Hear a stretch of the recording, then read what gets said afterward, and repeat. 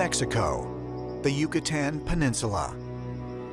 For over 2,000 years, rain-drenched jungles and fertile plains served as the home of one of the ancient world's greatest civilizations, the Maya. Scholars estimate that between 250 and 900 AD, the Mayan population consisted of between 15 to 20 million people and extended as far south as Costa Rica and Guatemala.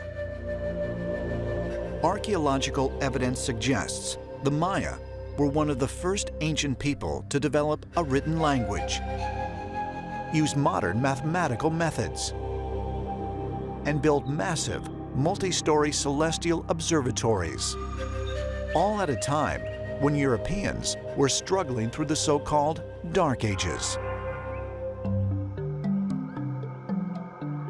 The Maya are considered one of the great advanced civilizations with hyper-advanced astronomy, astrology, trigonometry, uh, architecture, all of these things while the Europeans were, at the time, rolling around in the mud. But perhaps the most amazing Mayan achievement was their system of charting the stars and planets in the form of a calendar. The Mayas were timekeepers above and beyond all other things. Keeping up with time was magic, it was power to the Mayans.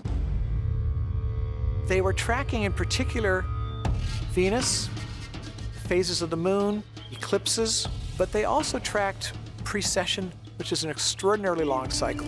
What it means is that every year on, say, March 15th, the Pleiades rise for the first time in the sky. If you wait 72 years, the day of the rising of the Pleiades will be one day earlier. If you wait another 72 years, it'll be a day earlier still. And if you wait 26,000 years, the Pleiades will move back to that same day. According to scholars, the Maya believed that time, like the stars, moved in repeating patterns, called calendar cycles and that these cycles could be used to predict future events. One of these calendar cycles, the Mayan long count, lasts for 5,125 years and will end on December 21st, 2012. But why? Why did the Maya choose this date? And what did they believe would happen to our world?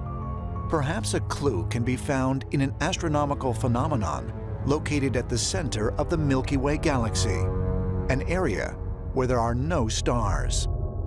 The Mayans knew, not only did they know where the center of the galaxy was, but they understood that it was a light year across black hole that they called the Great Rift. The Maya believed this was the birth canal of the universe, and that all things came from the birth canal of the universe. And on December 21st, 2012, the Earth, the Sun, and this birth canal, the Dark Rift, are all in perfect alignment. And this only happens every 26,000 years. Could the fact that the Maya long count calendar ends on the same day as this rare alignment in the Milky Way galaxy be a mere coincidence?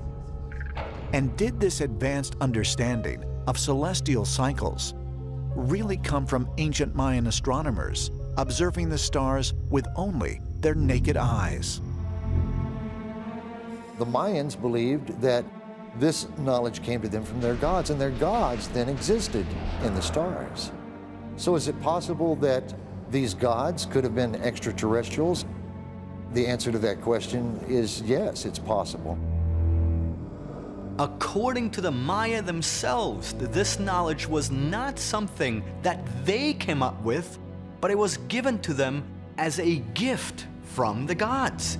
The gift back then was not material stuff, it was knowledge.